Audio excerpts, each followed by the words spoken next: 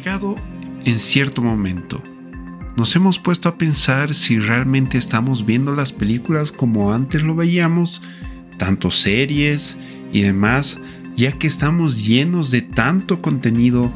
tanto de forma digital, por TV cable y demás, que nos están generando cada vez más, más shows, más películas y demás, pero por sobre todo en el tema de las películas que cada vez nos vienen dando muchas, muchas más producciones por mes, por año,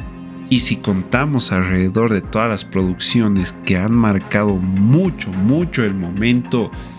en este año 2022, fue por sobre todo las películas de superhéroes. Pero fuera de esto también han existido muy grandes películas que de verdad no mucha gente las llegó a ver, justamente tal vez por el desinterés que empezamos a tener a este tipo de películas, a películas que realmente muestran y marcan otra forma de ver, tanto el séptimo arte como también llegar, ir al cine y poder verlas. En este caso, vamos a hablar de cómo realmente vemos actualmente las películas, tal vez desde este punto de vista que es el mío, pero vamos a intentar verlo de la mejor manera en un sentido en el que vamos a entender que las películas se están viendo tal vez no de una manera correcta, pero sí tal vez de una manera en las cuales nos estamos yendo más por el lado comercial que por el lado en el que las películas sí tienen que marcar cierto punto de reflexión, cierto punto en cuanto a la trama que te enseña algo que podrías modificar de la vida social tal vez actual o algo que te lleva a reflexionar tal vez de tu vida o de muchas cosas que está pasando a tu alrededor. Y esto hace que muchas veces en muchas producciones empecemos a ver tal vez de forma repetitiva que el superhéroe llega, salva al mundo después de y demás, que creo que eso es un círculo que se va formando y por eso también dentro de los cómics se ha intentado crear nuevas cosas o se ha intentado hacer nuevo tipo de producción, el cual nos ha llevado a que las producciones cinematográficas y los cómics tengan dos puntos muy distintos. Intentan marcar muchas veces esa misma línea o esa misma guía, pero en realidad al punto final llegan de dos maneras muy distintas. Y esto no está mal. Lo malo es de que nosotros siempre esperamos mucho más a partir de que no solo hay mayor contenido de estas, sino también de que empezamos a exigir cada vez más a estas producciones, viendo que muchas otras producciones que no son de superhéroes empiezan a tener mayor relevancia en otro tipo de aspectos, ya sea en películas bélicas, las cuales nos intentan narrar o mostrar cierto punto de la historia desde una manera muy distinta en cuanto a la guerra, en cuanto al sufrimiento o los acontecimientos que pasaron en ese momento. Pero también existen esas películas de fantasía las cuales no trasladan a momentos inesperados o momentos que de verdad pueden o no pueden llegar a pasar. Y eso hace que la ciencia ficción dentro del cine tenga mucho potencial a lo largo porque prácticamente la imaginación entra de todo esto. Pero hemos dejado de ver la ciencia ficción que antes se veía hace unos 20, incluso 30 años atrás, en el cual se veían no solo zombies, sino también se veía a muchos personajes que de verdad ibas teniendo tal vez ese miedo, ese gore o de forma directa esa empatía que podías tener. Directamente si hablamos uno de los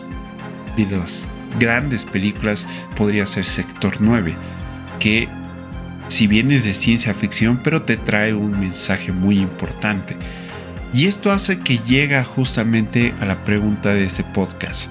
que de verdad estamos viendo ya las películas como tal vez antes lo hacíamos o de esa manera en la cual nosotros nos dedicábamos a ver de principio a fin esta película sin tener cosas predichas, sin tener ese potencial de que alguien te haya podido espolear y sin, sin que tú hayas tenido ese prejuicio de decir, ah, esto es una burrera, porque he visto en tal lugar que pasa esto o tal persona me dijo que pasa esto y esta película es realmente para poderla ver tanto en casa o para poder ir al cine. Y esto hace que justamente esa magia de ir y sentarte en tu butaca, comprarte esas entradas, comprar tu pipoque, tu gaseosa o tu alimento preferido, hace que pierda en cierto momento el sentido. Porque muchas veces pasa de que al tú ir al cine, lo que está provocando es de que vayas teniendo un prejuicio. Porque puede ser que hayas visto fuera de eso en el tráiler, hayas tenido que ver ciertos análisis para conocer, digamos, al personaje que va a actuar o que esté implicado en esa película, cuál es la trama principal, si bien esto sí existía antes, pero en realidad no existía ese nivel de análisis, simplemente era la presentación de la película, porque existían muchos programas de cine, los cuales te mostraban las entrevistas, los detrás de cámara y demás, pero en ningún momento te decían que la trama era de esto, pasaba esto, y si analizamos esto y empezaban a existir más especulaciones, más cosas filtradas que de verdad mucha gente a partir de hace unos 10, 15 años atrás que prácticamente empezó a ver mucho más de esto dentro de las películas. Porque los rumores, la farándula y demás se llegó a extender a Internet, a ese punto masivo en el cual las personas pueden entrar e ingresar en cualquier momento. Y esto no hace que tú como usuario tengas la necesidad de tener que verlo, sino simplemente es de que las mismas redes sociales son las que te recomiendan que veas este tipo de contenido. Y esto hace que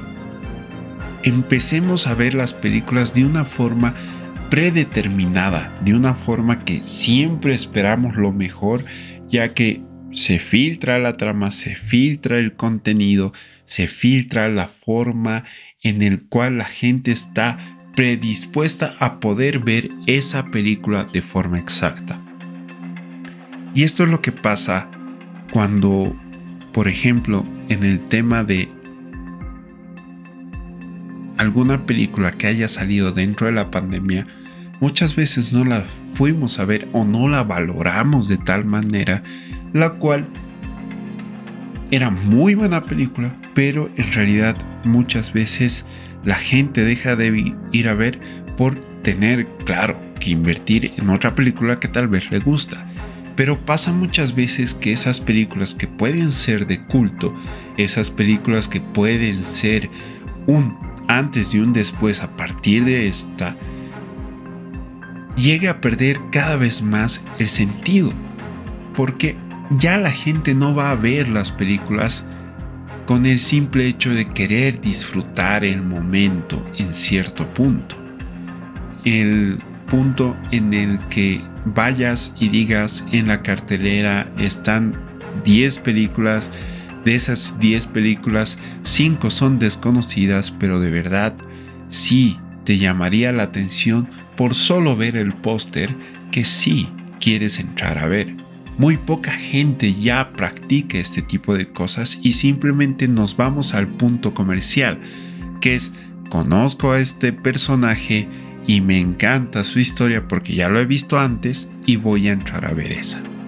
Si bien esto siempre ha existido, pero a partir de ahora ya muchas veces se pone y se marca una línea en el cual se empieza a perder ese horizonte tan amplio que teníamos de,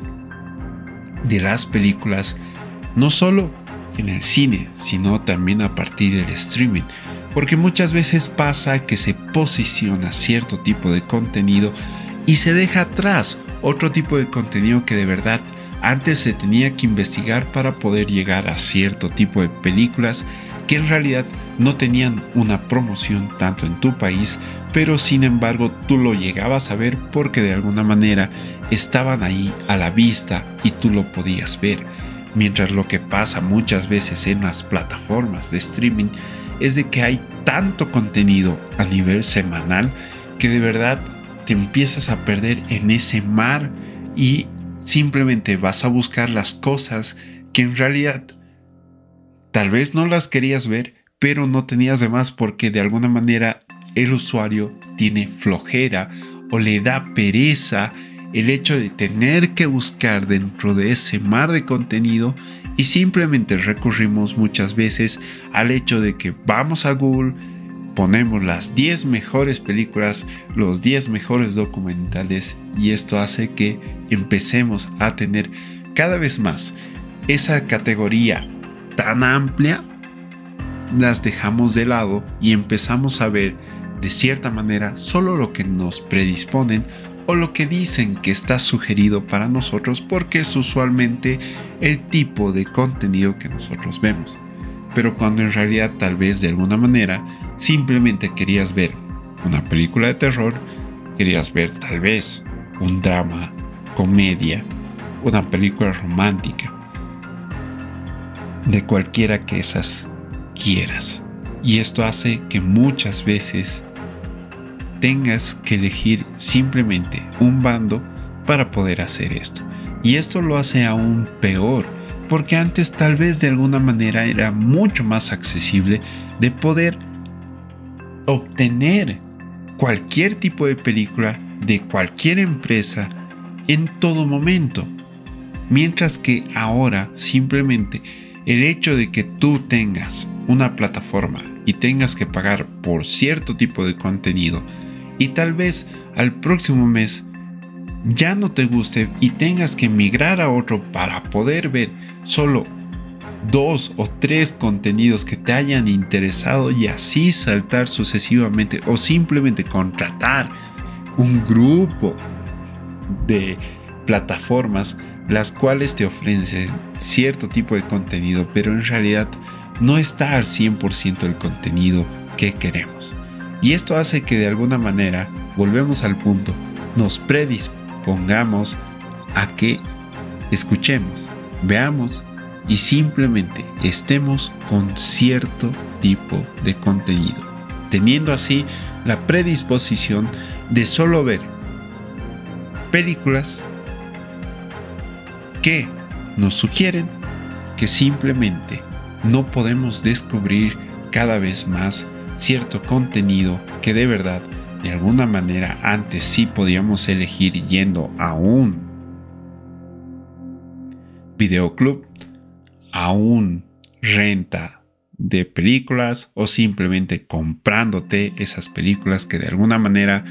no viste, pero sin embargo estaban ahí en el mostrador.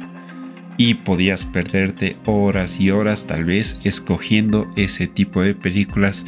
que de verdad de alguna manera también tenías a esa persona que estaba en el mostrador que a lo largo del día en su trabajo te podía sugerir porque tenía que ver forzosamente ese